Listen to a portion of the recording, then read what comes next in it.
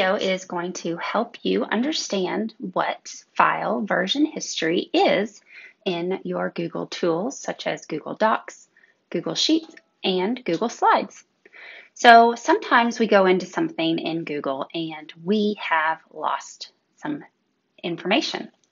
Um, this happens to all of us. We don't know. We push a weird button, we highlight the wrong thing, we've deleted something, or even we want to see where we were in a document uh, at a previous time in history. So the first thing you need to know is you can open this up.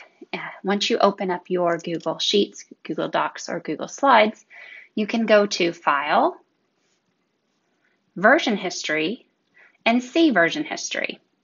Now, if this is a collaborative document, and I have worked on this document with others, you'll be able to see what the others have contributed. So you'll be able to see that something is highlighted under their name.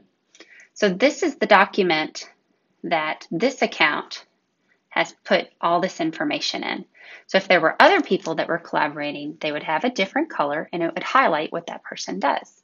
This helps us with students that are working as a group. You can look equally and see if, if equal contribution was given by the students.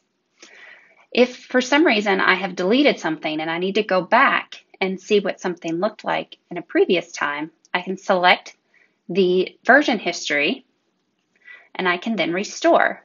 Now, often, sometimes we look at this version history and we think, oh no, now I don't want to lose all that previous things.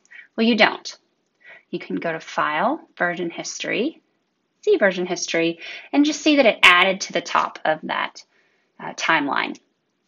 This works in Google Sheets, Google Docs, and Google Slides, as I said earlier, but just to make sure that you know and understand, you can go to File, Version History, see Version History, and then you can also click a down arrow button and see in actual time slots of when things happened.